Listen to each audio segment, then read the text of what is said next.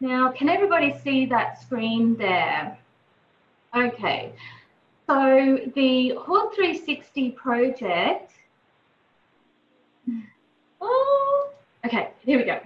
So the Hort 360 project is a Queensland government funded project and BMP is for best management practice and GBR is for Great Barrier Reef. And so we use these acronyms quite a lot. And basically, we are engaging, we, um, Growcom is rolling out this project and we've got two full-time BMP facilitators to roll out the project. So that's myself based here in Bundaberg for the Southern Reef Catchment Regions and my colleague Lindsay Allen who's based up in Townsville and he's in the Northern uh, GBR region. The types of things that we're doing with this project is our remit is to uh, provide one-on-one assistance to horticulture growers, assist growers participate in the BMP, which is a best management practice program, um, and to uh, develop tools and run activities that will be of interest to them. Basically, we're trying to ensure that all of the content that we're running within our program is uh, grower-led and design and on topics that are of interest to them. So soil health and biosecurity are two issues that have been raised with us um, over and over, and so hence our webinar today uh, with JD Lee presenting on nematodes, biology and local research findings, and indeed how to prevent spread of these through good bio biosecurity on farm practices. Um, other topics that industry have raised with us that they want more information on uh, is fair farms, uh, ag technology, weeds and pests. Um, and so in the last 12 months, we are only just uh, 12 months into our four-year project, uh, we have, um, in the southern end of the GBR, we have run five workshops and held four field days. And then over the next three months, we're running this Zoom series as a bit of a trial. Um, we've got a bit of a calendar program of our Zoom session series um, set up. Now, some of the subjects are going to be subject to some massaging about the topics because um, we really are still in the process of just finalising the, um, the, the subjects. But um, our next Zoom uh, session will feature Emily Patterson from Total Grower Services, who is going to talk about the importance of scouting, integrated pest management and beneficial bugs. And then the next month on, the last Wednesday of October, Rhiannon Robinson and Luke Griffiths from the Department of Agriculture will be talking about how they're using and trialling bioreactors and sampling nitrates. Uh, and then our last Zoom session for the year the last Wednesday of November. Um, I thought it'd be a bit rough trying to uh, schedule one on the last Wednesday of December. I probably wouldn't get too many people signed in.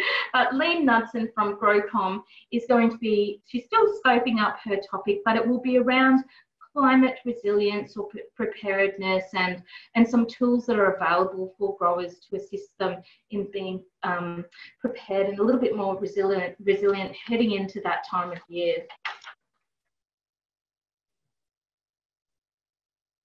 So um, best management practice is a it's a it's a program, it's a platform and a structure for which um, it, uh, farmers can benchmark where their current farming practices are at.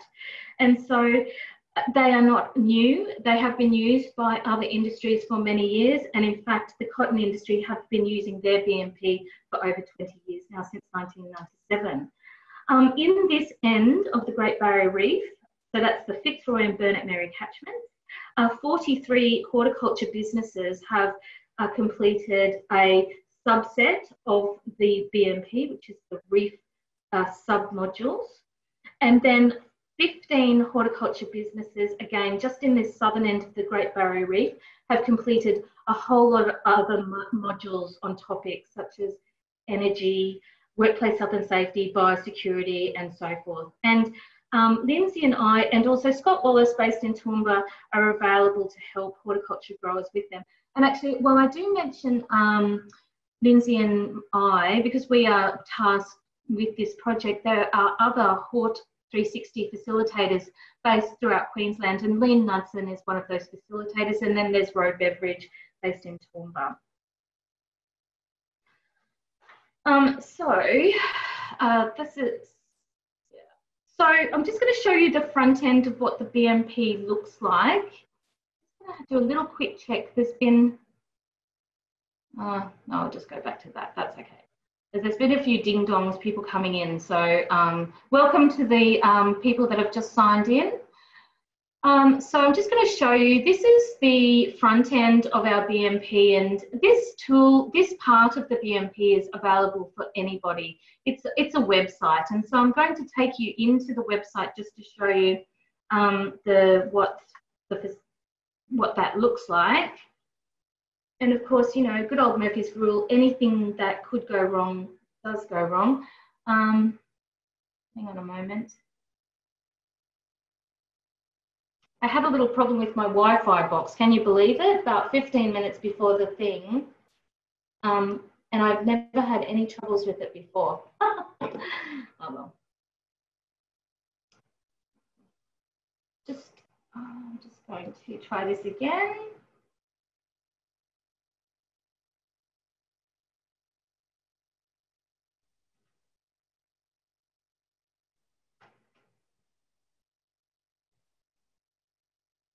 Okay.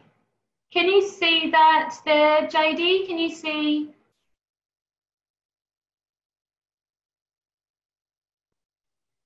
The slide?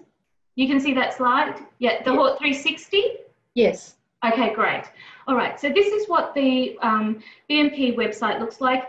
And what you need to do is just log in up in the top corner.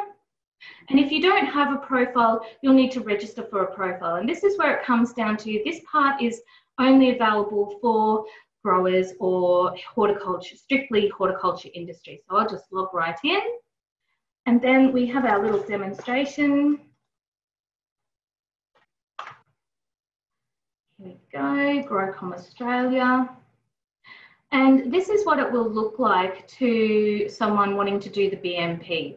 So after they set up some specific information about their, their business, so company information, there's also some, um, some information that you can put in there about your commodities that you grow and how many hectares and so forth. Once you fill that in,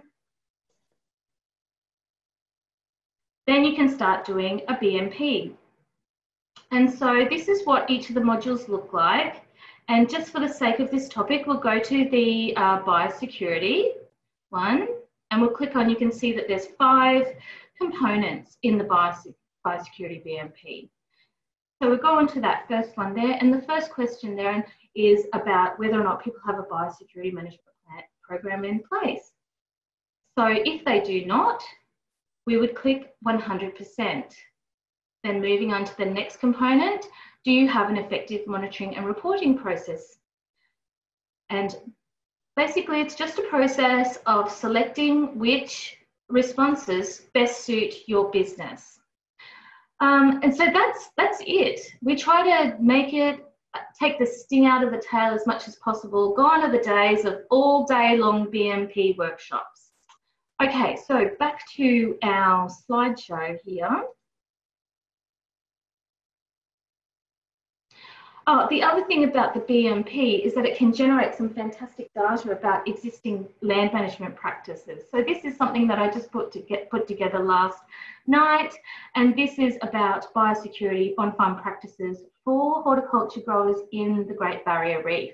And what this shows is that you can see the variation or the, uh, this is where all of the responses have been pulled in together into this thing here for management. And there's a proper word for that, and Scott Wallace would be able to tell you, but I'm not really good on these mathematical and graphical descriptors. But these are the outlier response. So you've got you've got some one of the growers that did this. They're at the top with 95% for their practice in management.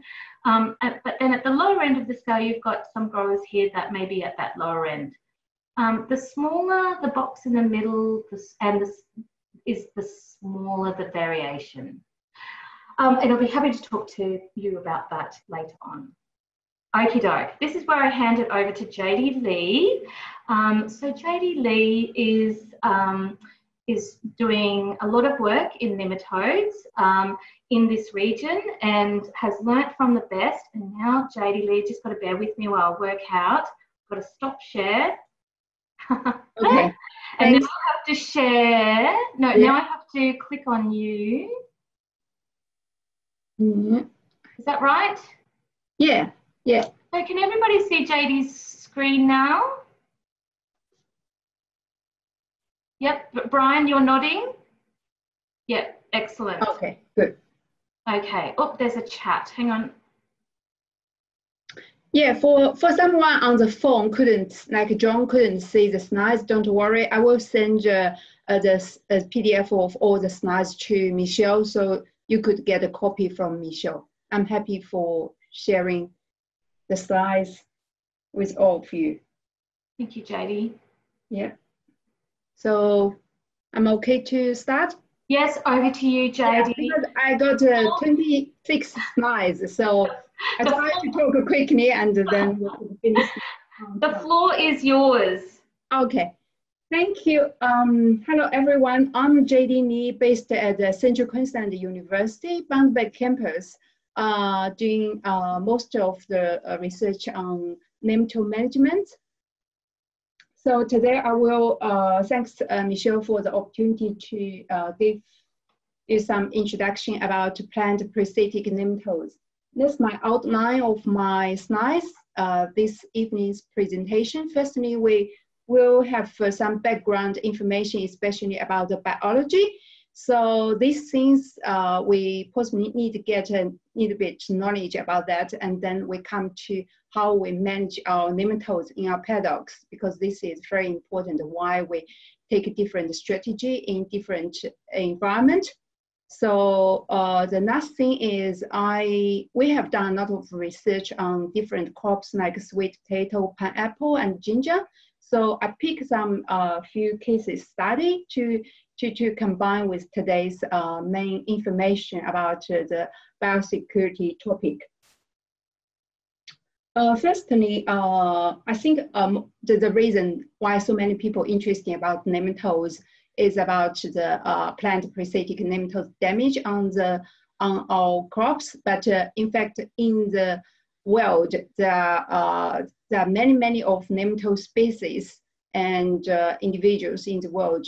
So, give a quick example is if you just uh, grab a hand of uh, soil in any paddocks or, or forest or um, other uh, land, yeah, there will be uh, something like you could pick, you will get the opportunity to pick 10 to 15 genus of the nematodes, not including species, definitely um, genus will be have different species, so the species number will be over that.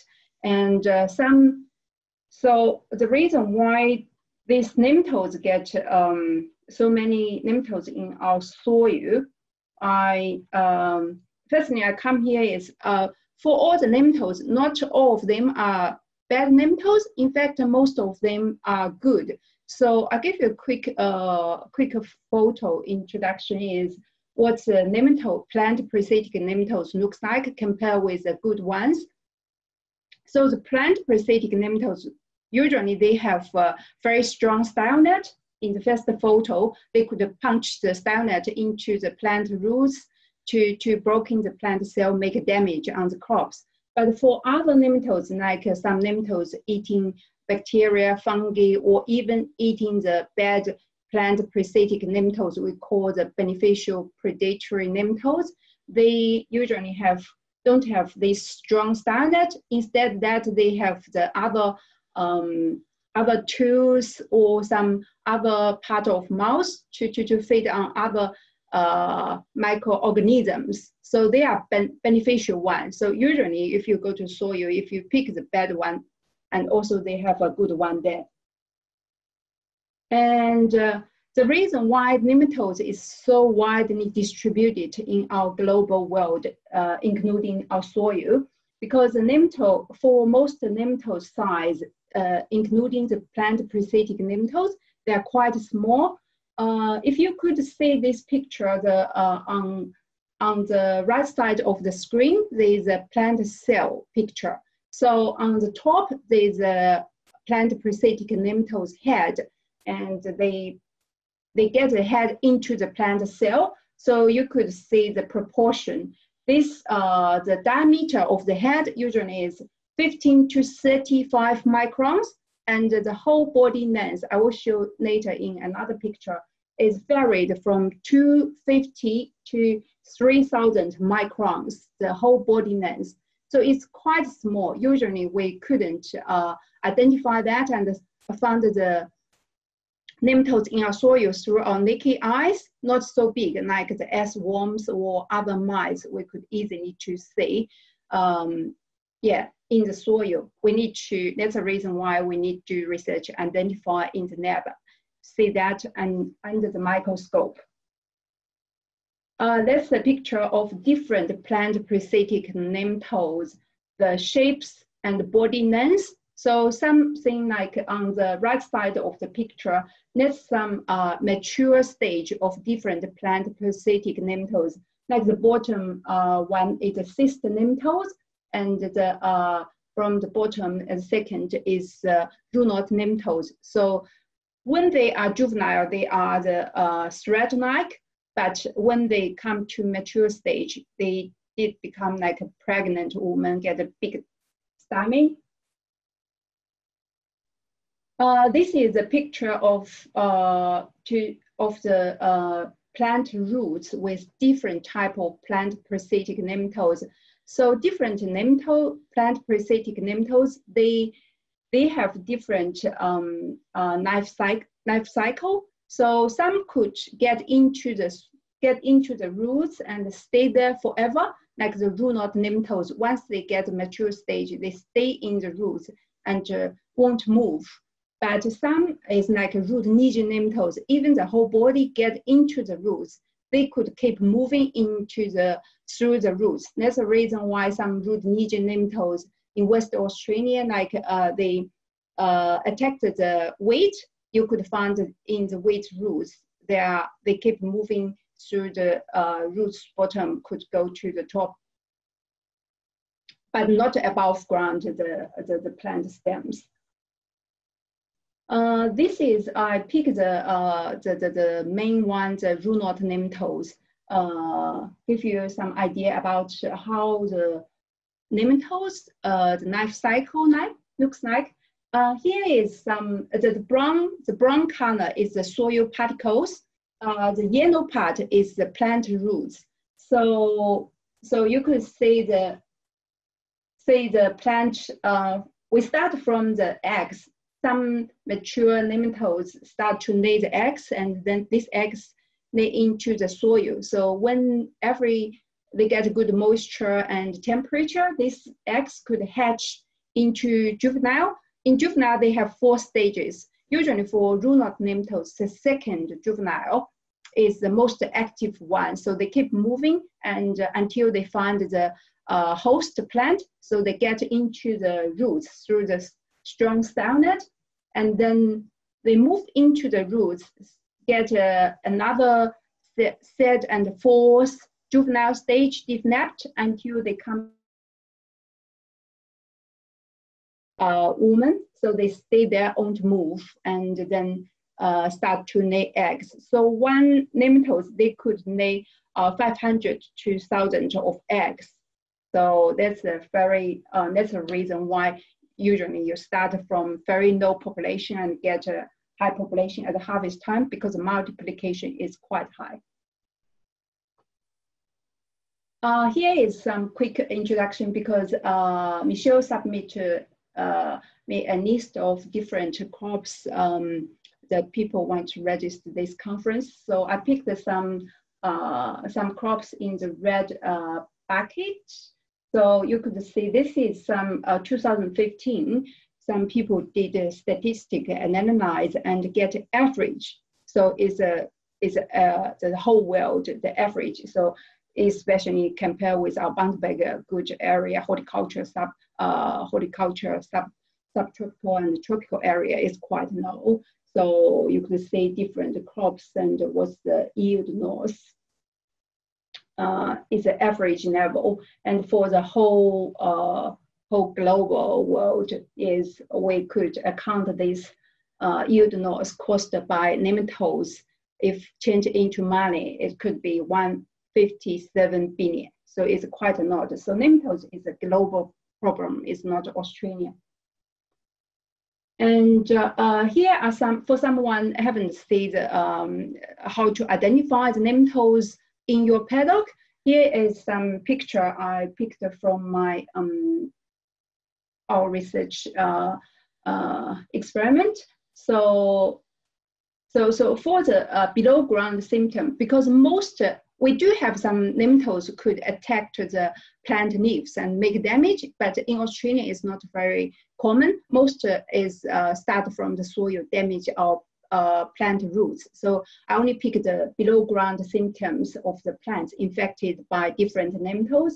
Like they could uh, get excess, uh, excessive root branching. So uh, carrots is a good sample.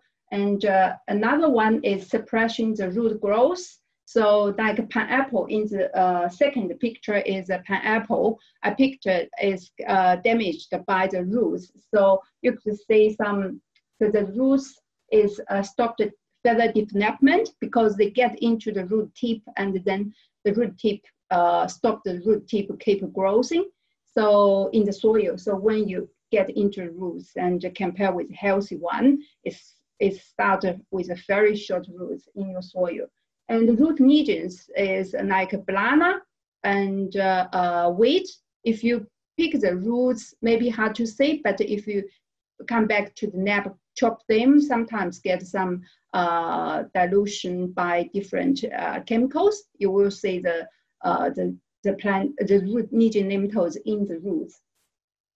And the root discoloration and the root galling. Root galling is easy to see on the tomato or capsicum, some uh, horticulture crops, even carrots. So usually tomato is uh, a good host for, for, for a lot of um, root, root nematode species. So we usually use them to, to culture our pure, get our root knot pure culture. So this is uh, the last picture is the uh, tomato roots and uh, get plenty of root knot nematode spores in the in the root system. The first uh, one is a sweet potato. Is uh, is they show some uh, nature or earlier infection by the nematodes. So we come to the biology and then come to your paddocks. We, I think uh, most people are concerned. What's the key environment factor affect uh, um, our nematodes multiplication and uh, so here I pick the top three, but they maybe have some others and uh, may vary in the condition. That's the top three is if we read the books and usually they pick this uh, top three. And uh, the first thing is the soil texture. So if your soil get the uh, nematodes, usually in the they will make more damage in the uh, sand texture soil and marked soils. And than the uh, clay soils. So it's a little bit different with uh, root lesion nematodes because root lesion nematodes in the uh, clay soil, Darling Downs areas uh, is quite high, even the soil is clay. Uh, this thing I will combine just some uh, experimental results, give you some idea. Um, and soil moisture is another one because uh, when the soil is dry, the nematodes want to die. That's, that's issue. The population, some die like juvenile or females, but the eggs, they could uh, survive. So that's the reason why, why you, once you get the nematodes in your, the bad nematodes in your soil, it's hard to get rid of them because uh, even the soil is very dry, they won't die. Some eggs could survive until they get a good soil moisture and then they will recover and uh, uh, hatch into juveniles. But when the soil is dry, they won't move. They keep in active stage. So uh, that's the reason sometimes if you keep fennel for a few months, the nematodes will population will drop very low. And uh, another thing is the soil temperature. For different nematodes, they have a different suitable temperature for the life cycle. So usually, like for root nematodes, takes three to five weeks to finish a whole life cycle, uh, life cycle from the eggs to uh, to juvenile and the female, and then come back to eggs. But this varies uh, depends on the soil temperature. So for root knot nematodes, the best temperature, the, the favorite temperature is 24 to 32 degree. So that's the reason why uh, like Bundaberg region is uh, like a nematode capital because it's very good temperature through the whole year for for the um, nematode to hatch. Yeah, even we get some winter, but and uh, a hot summer, but uh, not very long. This uh, most uh, most time through the year is a very good temperature for knot nematodes to multiply and uh, live in the soil. And they do have some threshold for uh, knot nematodes development, uh, change, uh, hatch or, or moving. And for different species, uh, is um, they got a little bit of variation. So like for our um, some warm climate species, especially for Bundaberg area, like if the temperature lower than 5 or 15 degree, or in the summer, the soil temperature is high over 38 degrees, the nematodes want, um, want to keep, keep, keep active and uh, attack to the roots because they, they become to struggle to, to, to, to survive. Uh, JD, just yeah. wondering if you could go back to that slide. Yeah. I just thought that would be a good space to ask if anybody has any questions for JD about that environmental factor um, and also what uh, JD was talking about before with how quickly they reproduce. Um, just remember to unmute the, that yourself on the bottom left hand side. Any questions for JD? No. Okay. No, um, you, you, can start the thinking questions. I will um mm. talk in that. Yeah. Thanks, JD. Yeah, combine with some case studies. So uh, I gave a quick slide is to a list of the whole um the, the main nematode management options. And on the top, uh, the red color is more sustainable and uh, uh, environment friendly options and the uh, bottom, the black color, the, the, the, bottom three, you know, is quite common, but uh, you, you, must realize it's also is less friendly, environment friendly, and uh, it's more toxic. But uh, I understand some some cases we, we, we have to use the chemicals and the fumigants. Yeah, but uh, I will talking uh, combined with a case study said um, when we apply the chemicals, what things we need to to, to, pay attention. Uh, oh. JD, um, Tony Filippi had a question yeah. What depth is the most prolific numbers of nematodes found? Uh, that's a good question. Uh, varies through crops, uh, but most because like uh, most uh, horticulture vegetables, because the root system is uh, zero to the most root system is the high numbers of root biomass is on the top zero to 30 centimeters. So the that's the highest root like nematodes, plant parasitic nematodes numbers get higher on. Uh, and after three uh, centimeters, no one then you will still have some, but the population will drop.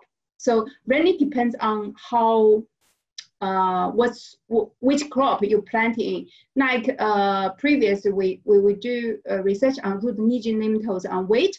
So the weight system could go uh, with one meter underneath. So we take different depths from zero to uh, 100 or one meters. So we found, in fact, the 30 to 45 could be the highest in some cases.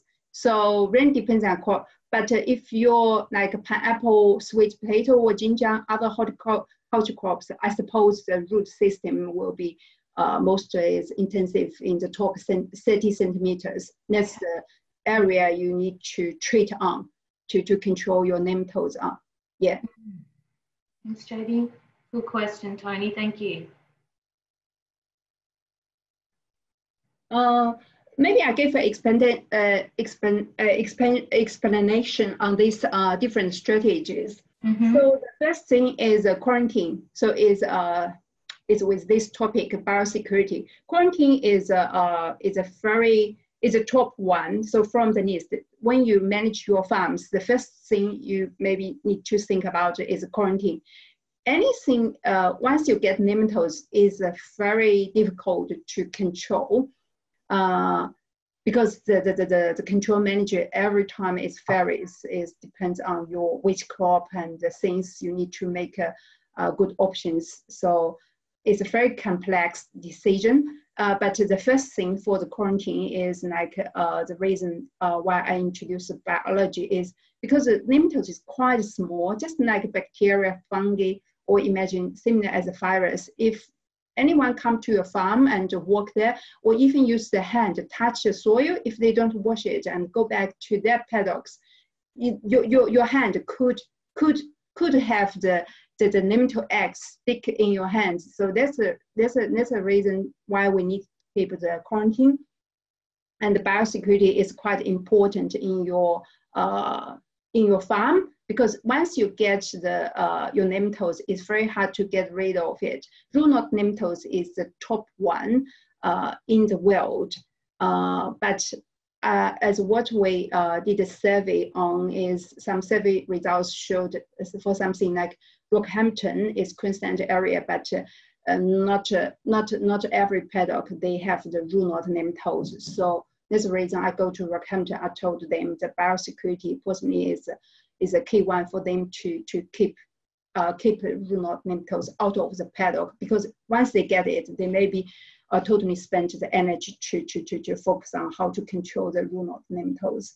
And another thing is the diagnosis or monitoring. So these things, if you get your uh, the, the, the nematodes, uh, the root-knot nematodes or other plant parasitic in, your paddocks, that means the, the, the first thing is like do the pre-planting sampling to, to get the all the species you have and then what's the um, what's the pre-planting population and then you know which crops threshold level so you could make a decision whether I go to the this crop or not.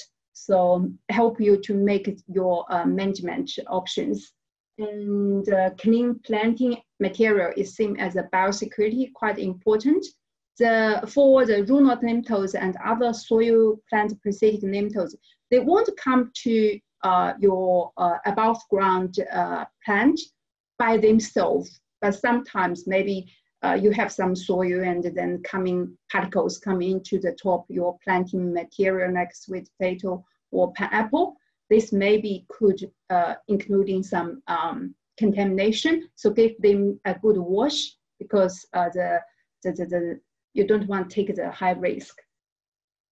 And another thing is a resistant tolerant uh, uh, variety. This is a very good option, but for some uh, in some condition, uh, I totally understand why you couldn't choose that next sweet potato because um, people still want the, um, the old variety.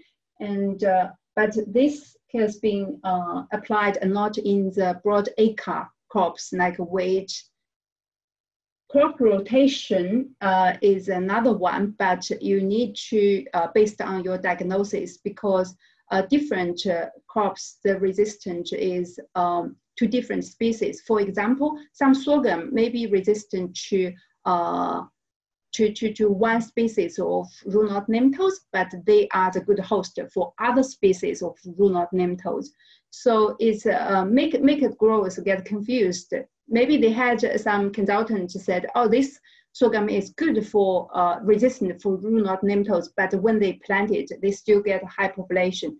But the, the, the, uh, the thing is they do um, come into species level. So that's something when you are uh, looking for the consultation, you may be better to check it online because they do have plenty of uh, material on, on the Google system. You could find out which crop are resistant to which species.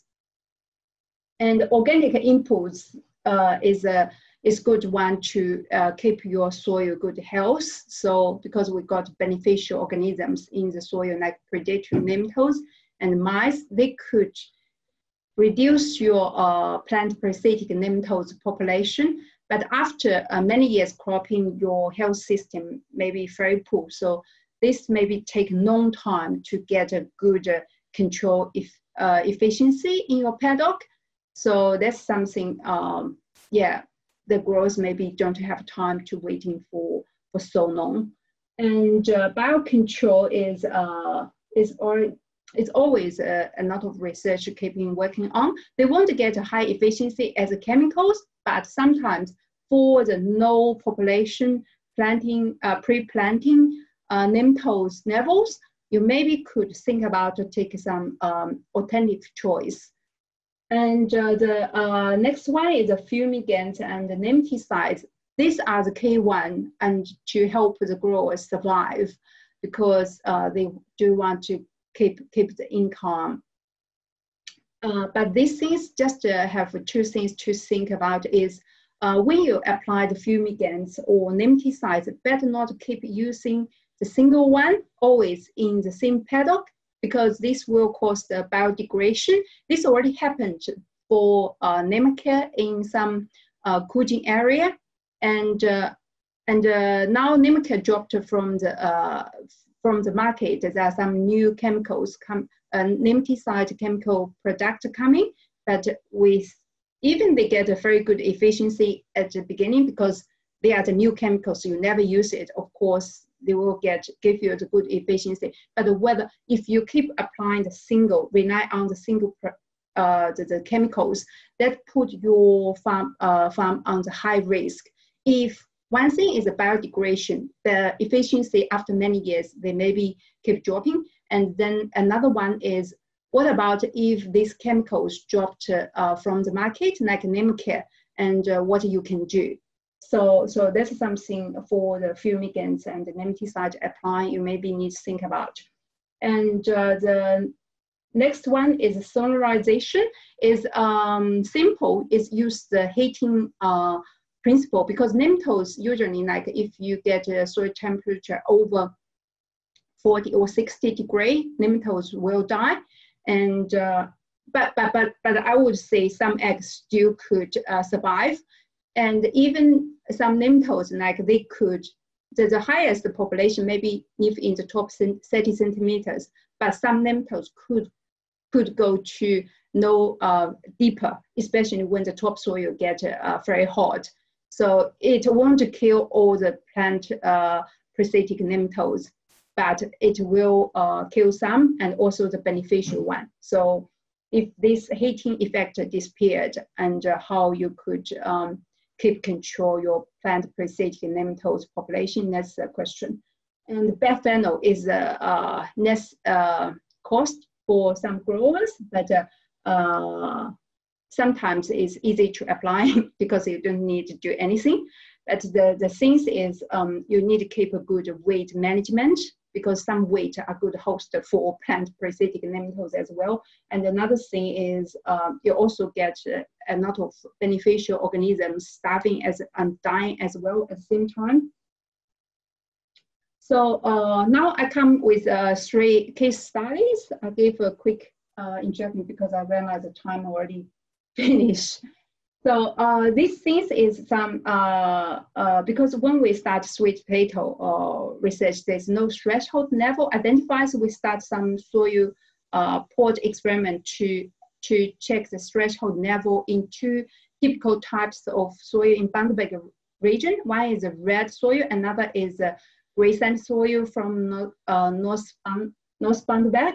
So uh, this is um, most uh, vegetables, the threshold level is uh, between 1 to 10 Root-knot nematodes per 200 milliliter soil. So we want to check whether sweet potato uh, is fit in this area. Uh, so that's the two soils we tried. And then we get some analyze, pick the uh, threshold level. For the uh, gray sandy soil is um, quite low, even a little bit under one nematodes. The juvenile yeah, uh, Root-knot nematodes juvenile per 200 milliliter soil. This is a red soil, is come a little bit higher, but uh, I would say for, uh, for sweet potato is about one uh, nematodes per 200 milliliter soil. So uh, from this uh, research, the the key conclusion is you could see the, how the soil type varies and the threshold will vary. So this result is uh, give it, if come back to one sentence, uh, I would say like if if you have paddocks in uh, both have the red soil and gray sandy soil, if they got the same nematodes, similar nematodes pre-planting um, population, the gray sandy soil, uh, you will see more uh, the higher yield damage on your sweet potato than the red soil. And uh, for pineapple, I think for someone already came to some pineapple workshop, this is some background information I would repeat here, is uh, pineapple already, uh, people did uh, more research uh, than sweet potato. So if you take the uh, some good sampling strategy uh, with one paddock, you better take 650 core at least, because sometimes if you only take two or three, you maybe get less chance to pick the uh, population. And then you come back to uh, couldn't represent your uh, whole paddock uh, population very well. Another key one is the damage threshold for pineapple because you, most pineapple growers uh, uh, would like to get a ratoon crop. So the, the threshold for the ratoon crop is when you get the um, first crop planting at 12 months is uh, already, you take a sample if the population is, um, is above one to five or over that, uh, nematodes per 200 meter soil. That means they have indication in your ratoon crop, you will get a high chance to lose the 30 to 60% um, yield. So this is some uh, some uh, field trials running by uh, by uh, growers in um, pineapple paddocks and uh, so they just uh, uh, get the genome and uh, also the control. So treatment applied in the same paddock. So we, we get invited to take some samples at three months after, after planting. But the first crop, before we went there, the first crop uh, before planting, they already uh, have few months of fallow period. So so that, that could be an indication the pre-planting nematodes population could be very low. And uh, we take the soil samples at three months and 10 months after uh, planting. So uh, we take the soil at uh, zero to 30 centimeters. So we suppose that's the most uh, nematodes population would be. Uh, this is the results uh, for our nematode counting. So we identified the zoonotic nematodes and also other plant parasitic nematodes and also the beneficial, other beneficial um, uh, nematodes we call free living. Wow. So from, yeah, from this uh, table, you could see at three months uh, the zoonotic nematodes, even after they get a good host plant, the population is still quite low. Uh, that means uh, for the pre-planting, that would be even lower than that. So for Tino and uh, and uh, control, there's no difference because the population is quite low. Uh, but for the other plant parasitic nematodes like uh, root and other uh, nematodes, they do other free living nematodes as well. The Tino did have show the efficiency could control the reduce the nematodes population compared with the control. But after three months is planting, there's no any uh, difference in the nematode density among three groups, other zoonotic nematodes and uh, whole other plant parasitic nematodes group or free living. But for free living, the groups did change. I will talk a little bit later. So what that means to, to us. So Tino could definitely could reduce your nematodes population, both bad one and good one. But how long this efficiency could keep in your soil, whether it's enough for your crops. For some crops, like uh, just two or three months is maybe enough. But for pineapple, that means 10 months is uh, they won't protect until 10 months after first crop. So, but your threshold for your next ratoon crop is 12 months area is already over that threshold level. So even the first crop, you start with a very low population, at 12 months is, it would be recover to, to high, high than threshold level, even with the Tino application. So whether we really need to apply Tino, in which uh, situation we apply, that would be a big question for, for growers to think about. And uh, and uh, the last thing I would say the free living nematodes numbers, the whole number, uh, it didn't uh, change, still similar between the control and the Tino treatment. But when we look at, uh, we did find higher predatory nematodes in the control than the Tino because uh, the predatory nematodes, they have a big body size. So once they get uh, damaged, the population reduce, it take longer for the good one to recover. But for the bad one, because you get a very good condition, good host plant and food source for them, so they could recover quicker, much quicker than the beneficial one. So even we got a small amount of beneficial in your soil because um, because the, the, the, the, the effect of the few fumigants, the, the good one won't be enough to uh, control to control your bad one. So that's the reason we need to extra uh, method or options uh, practice to, to keep the bad one population in the low level. And also there are some, uh, always some soil fungi and in this paddock, they do have some very good bacteria we call Pasteuria in the last picture. This is some very, um, because they only attack the, the bad root nematodes. They won't attack your beneficial one, but this one is very hard to culture. Now we are doing research how we could maintain the uh, this one population in the soil. And uh, here is some good beneficial uh, organisms in the soil which could uh, kill the plant parasitic nematodes, uh, mites, and different type of fungi, and uh, the bacteria like Pasteuria, and also the predatory nematodes. So uh, the last case studies is some research funded by Australian government to, to for us to do some research, we extracted some uh, native beneficial soil nematode trapping fungi from our Queensland soils, and then we make them into the granule, like the fertilizer size. So we applied into the soil, and then uh, plant the ginger uh, inside to see um, how the uh, this bio biological product could uh, help us to reduce the uh, nematodes population and protect the ginger. Here is some uh, data. Uh, so different assessment on the soil root knot nematodes and also the root lesions, uh, the, the, the damaged lesions on the ginger roots. So we could see for the uh, two types of different nematode trapping fungi product AD and AO, and they get significant less root nematodes in the soil and also the damage on the uh, roots. Even it's not, yeah, it's not uh, um, as high as the chemicals, but they they did sometimes could work.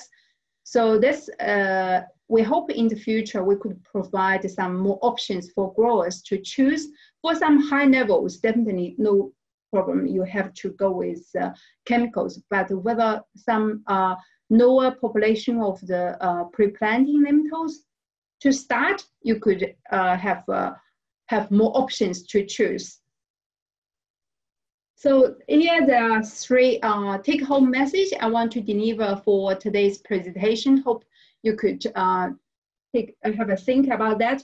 The first thing for nematode management, I think the key one is biosecurity. There's no uh, doubt with that. Uh, how to pretend prevent uh, the, the new plant parasitic nematodes coming into your soil is a key one, especially for root knot nematodes for some growers. If some growers from uh, Rockhampton or from other, you haven't found the, uh, the root knot nematodes or other uh, plant parasitic nematodes, you must uh, protect your land.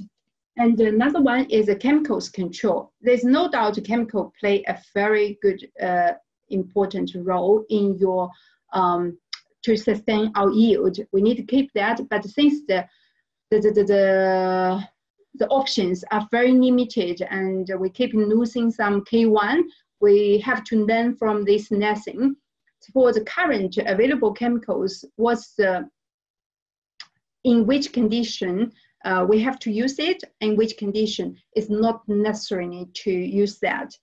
And also how and when. I think for, uh, especially for pineapple growers is uh, whether we could find some options to to control our nematodes, reduce our nematodes population during cropping area, especially for in the key area 12 months after first crop to protect our ratoon crop is a key one.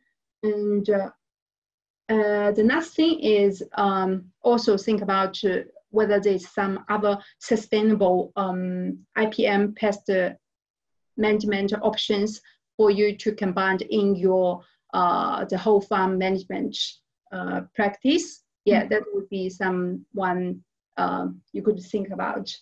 Yeah. Actually, JD, there's a question just on that. So really yeah, yeah. great segue. Um, with a bare fallow, the question is, with bare fallow, would you plant mustard plants as a biofumigant for this stage to lower numbers? Uh, so, so the question is, uh, for the bare fallow, whether it's keep bare fallow or plant some biofumigant crops. Is that right? It, that sounds like it. Um, okay. That came from Tony. Okay, uh, I could see that uh, is, yeah, we, we prefer to have some crop in the soil if you can instead of fallow because fallow, it didn't cost you anything, but whether uh, you plant some crop, maybe get a, a higher yield uh, coming back compared with the fallow. There are some uh, experiments for sugarcane, they get a results. Even you reduce the cost for fallow, but instead uh, bare fallow, you planting some food crop, maybe could increase your next crop's yield. So this is something we encourage people to, to if they can, they plant something rather than fallow. But for the biofumigant crop, I know the uh, uh, some are very good cover crops could um, could reduce the nematodes because they are resistant to nematodes. And uh, I haven't done research, but uh, for for for some some re- for some research, they get a, a, good effect to after combine incorporate these uh, biofuming crops into the soil, they get a good control efficiency, but some researchers, they said they don't. So there's an argument between that. But uh, for the soil health, definitely plant crop is good.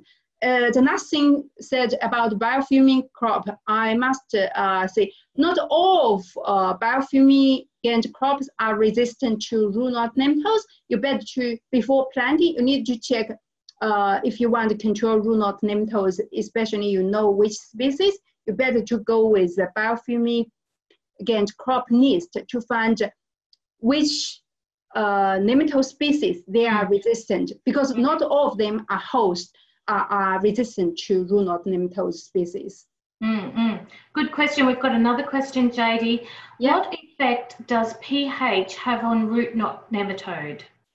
Uh, pH for the current uh, soil, um, because uh, in fact, I have a project running at this moment in Bundaberg area. I picked the soil pH and also carbon and not of uh, uh, uh, soil properties and try to identify the key environment uh, factor for, for nematodes in specific environment. But I didn't find the soil pH has uh, too much effect on the on the knot nematode population during the cropping uh, here period my explanation is pH is still some uh, K1 when you um, search Google, but in our soil, I think especially for the uh, soil, I take samples uh, from the Bundaberg area. The pH possibly they have a range. This range uh, during this range, they won't have too much effect on the nematodes. Only and like the temperature until the threshold level, they close to the threshold level, it will make uh, the, the, the big difference. So really depends on environment. If you get a soil pH data, yeah, that would be uh, something you you could think about. I will try to get these results to uh, finish by this year and then submit a report. So hopefully you will see the results. Yes, yes, watch this space. Does anyone else have any more questions for JD? You could just, you don't have to type it, you could unmute and ask the question direct. Mm. And also, I, I listed my email there. I saw that the time is very limited uh, by 40 minutes. If um, okay. later you, you, you remember some question, happy to, to, to, to, I'm happy to answer by email. Just send me uh, the email list because, um, yeah, sometimes I based at Bundaberg and happy even could go there to have a look. Thank you, JD. And yes, um, we are just ticking over time now, which is breaking the golden rule of running webinars. JD, could you just um, stop sharing your screen with me and I will just finish off. If, um, if you've got questions, please just type them through. Um, so now I'm going to do that. It's quite stressful running these webinars, you know.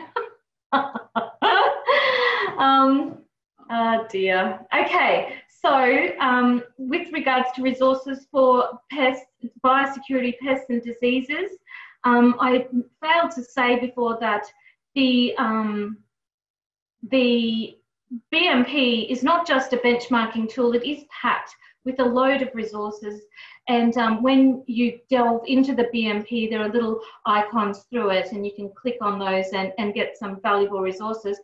For your participation and commitment to our webinar, our Hort 360 Zoom session, as the hipsters call it, um, well, I've got a pest pack which I will send to you. And um, in that pest pack is will be an excellent resource called Soil-Borne Diseases Handbook, which has been developed by AHR. I also have some weeds of Southeast Queensland. Sorry, that'll be no good to the guys in WA, but also some resources on vertebrate pets, pests, which are handy because I know growers are having problems with pig, wild pigs and things like that in their macadamias.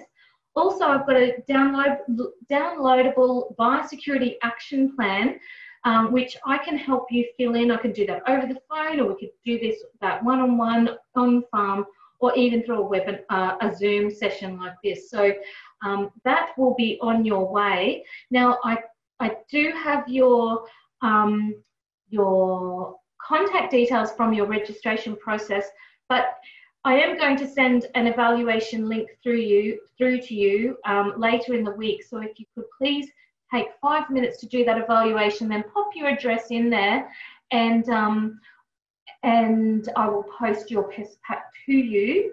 Um, but um, I think just you know everyone will get a pest pack. I'm not. I don't have anyone over a barrel by doing the evaluation for the pest pack.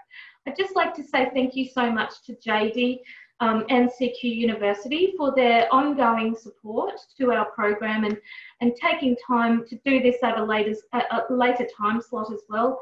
Thank you very much, JD. Big round of applause. Can we do a virtual round of applause for JD? Um, also uh, to um, uh, the Queensland Government for their support through the Reef Water Quality Program and our corporate sponsors. And just to finish up, on a, on a good note, I found this meme. It's very hard to find a meme about nematodes, but I'll keep looking for you. But anyway, I thought this was a bit of a funny testing. Thank you very much, everybody, for joining tonight. I'm just going to check one more time if there's any more chats. Um, oh, I already responded to. And yes? Yeah, they just ask uh, well, what magnification we um, could find the nematodes. I said under microscope, we usually count under 4 and 10 or 10, yeah. To, okay. easy to see them. For identifications, for some uh, very hard identify uh, species or genus, we could go through 40 or even 100, yeah. But with a normal uh, microscope, if you got uh, 4 or 10, it's easy to, to, to, to, to count and uh, Okay, and I've just realized because I'm sharing my PowerPoint, that's why I can't see the, yeah. the chat. So I'll get out of that see if there's any more chats there. Um, No, oh, hang on. Oh, yes, JD, you've got onto that magnification. Yeah, yeah. Oh, you've Yeah. answered those? Yeah, I already answered. Yeah, Oh, did, but, uh, and everyone can see them. Okay, excellent. yeah, Sorry. yeah. All right. Thank you, Sarah. Thank you for the feedback. Thank you for coming. And um, I hope to see you at the next Hort360 Zoom session. That's it for now. Good night. Thank you, Michelle. Bye. You. Bye.